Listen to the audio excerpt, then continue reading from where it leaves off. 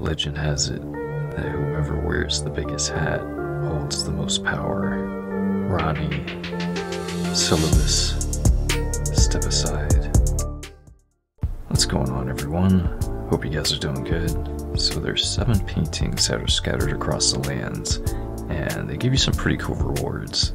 This pyramid head look-alike is one of them. It requires you to first find the painting and then go to the location where they painted it at. The first painting we're grabbing is located in Limgrave. You want to head on over to the artist shack. Then once you get the painting, you want to make your way down over to the seaside ruins. Then make a little trek northwest, and that's where you'll find the gold incantation scarab. It reduces FP cost of incantations, but makes you take more damage. So far I've found three of these. I think there's a few more, but they all have the same stats it appears, except it's got a little bit of a different buff to them. They all seem to make you take more damage though. Next, we're heading on over to Stormveil Castle, and you want to take the Liftside Chamber waypoint. Head outside, and where the omen creature is at with the dog is where there'll be a little room to the west, and that is where the painting will be. Next, to find where the artist painted this one, we're heading on over to the Church of the Pilgrimage. I thought it was this ghost that was sitting outside the church, but he's actually a little bit behind the church.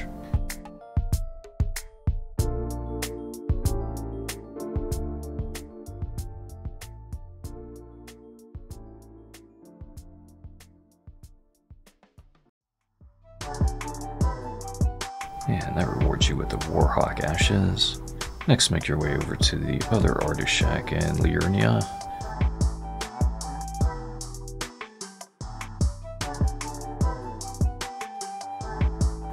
Once you grab the resurrection painting, teleport to the behind Caria Manor waypoint. And this one's a little bit harder to find. He's kind of like towards the edge of the cliff there, and you just want to head south. There are quite a few enemies in here. I'm sure you could just run in there and grab it still though.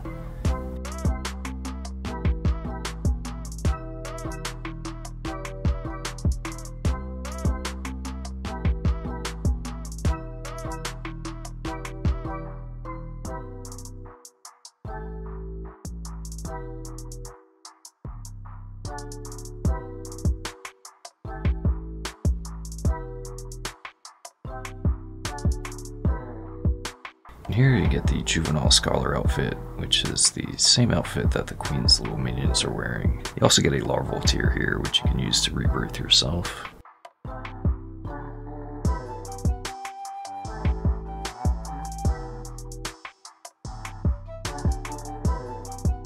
Yet their rebirth is not without imperfections, you say.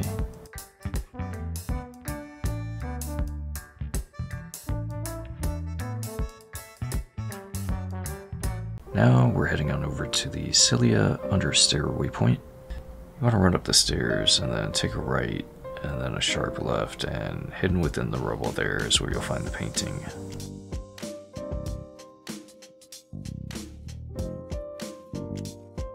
Once you get that painting, head on over to the Dragon Barrow Fork waypoint.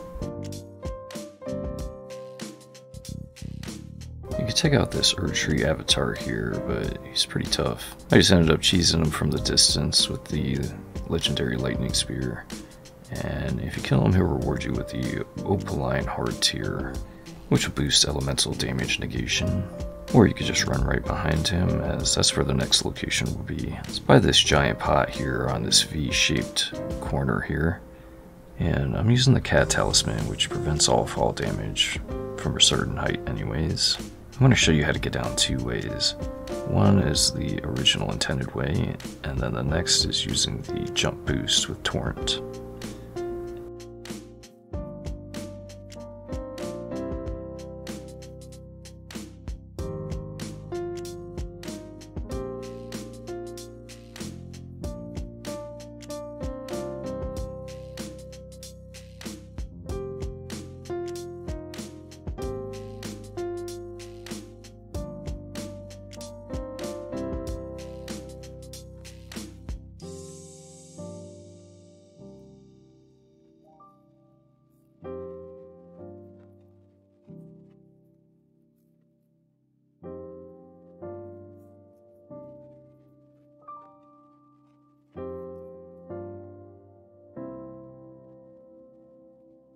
Next you can use Torrent on the very edge of the jump boost here. And then you want to do a double jump on the very last second once you're near the edge, and it'll take you all the way down to the bottom. You don't have to fight or kill this giant golem here, as he's pretty tough. He is hiding a Rune Arc beneath him though, if you want to get him up just to grab that. He'll only reward you with like 5,700 runes and nothing else besides that. But there is a way to cheese him, which I'll show you after this. It's pretty crazy that he only rewards you with 5,700 runes, considering how much health he has and the amount of damage he does.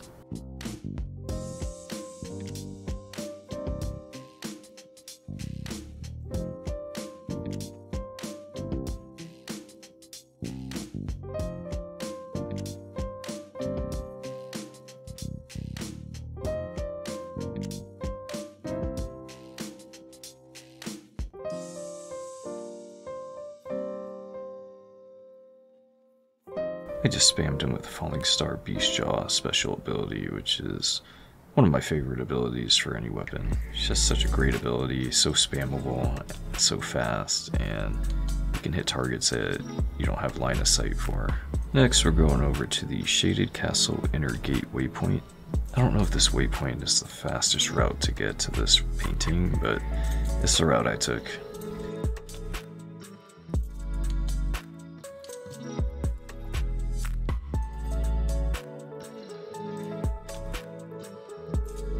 Want to make your way up this tower here, up this large ladder. I ended up running back and forth, so I just cut that area out real fast.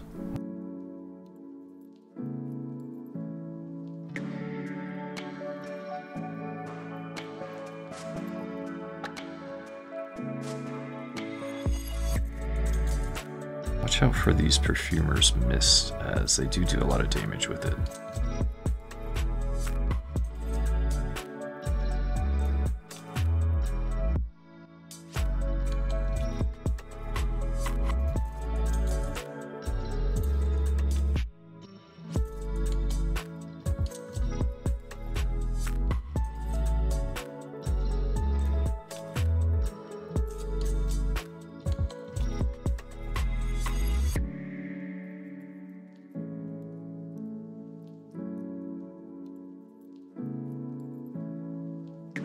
Once you have that painting, head on over to the Rampart side path, head on up the mountain there, and you'll end up facing a dragon there, which I thought was bugged because I thought he was supposed to respawn a little bit further down the mountain.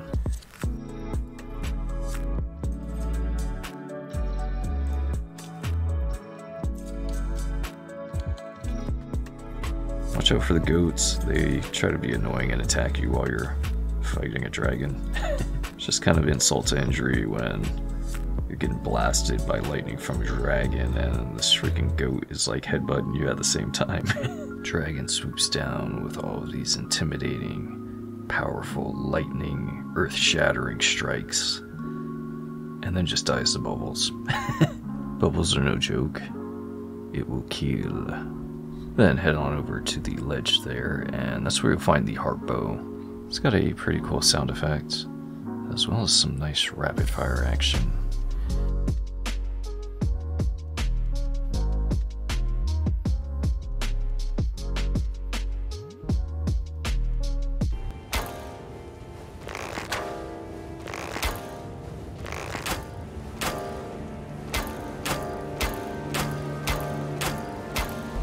Now we're heading on over to the Royal Capital, and you want to go to the West Capital Rampart waypoint. I don't know if I have the quickest route for this one either, as I don't have access to this area anymore.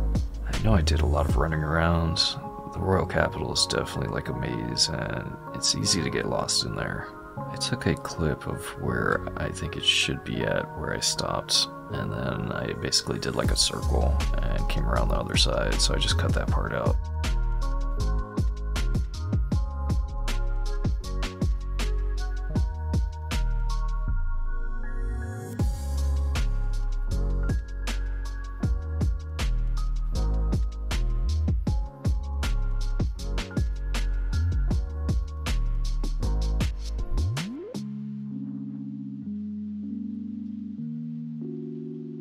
This should be the right location if you drop down right here and follow where the arrow is pointing. Inside you'll find a pretty nice outfit, one of the nicer ones for mages I think, as well as the painting which is right next to the site of grace.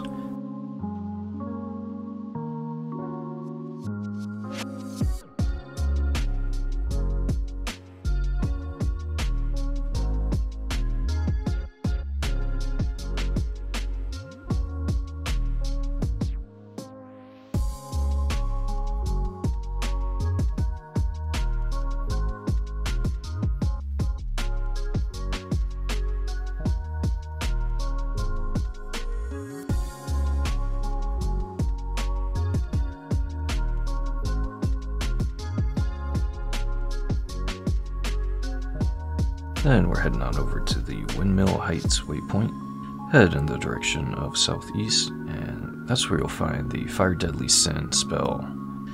It's a pretty interesting spell. It does some damage initially and then sets yourself on fire and does damage to you and anything that's close to you as well.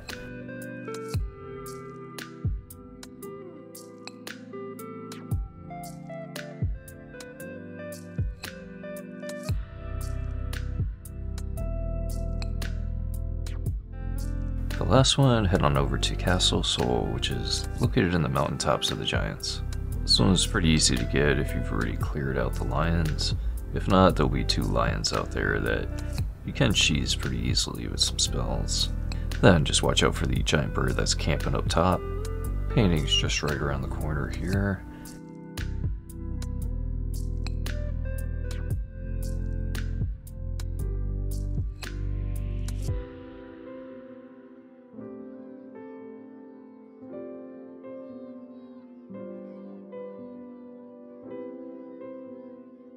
Once you get that, head on over to the Snow Valley Ruins Overlook waypoint.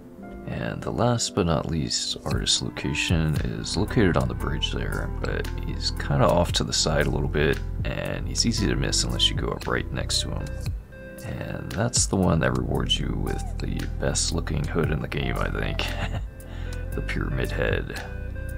I was thought from the very beginning of the game when I saw the astrologer's hood that is too big for their head and that was the main reason I didn't pick them. Even though I wanted to play a magic character. Because they just look more ridiculous in that oversized hood than the prisoner in his helmet. But then I saw Ranni's hat. And then I saw Seluvis's hat.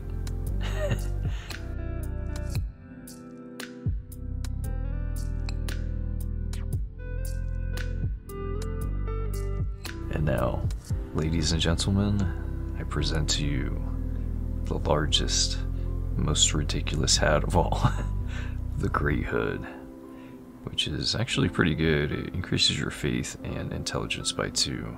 And I actually do like this one out of all of the big hats, as it looks almost identical to Pyramid Head from Silent Hill. I'm sure that was their inspiration for it. it. Looks pretty good with the ruler's robe as well, as it almost matches the color perfectly it also looks good with the Sanguine Noble waistcloth leggings. If you're going for the pyramid head look, that's a pretty good match. If you like the video and it helps you out, hit that subscribe so you can stay notified. Take it easy and hope to see you guys on the next one.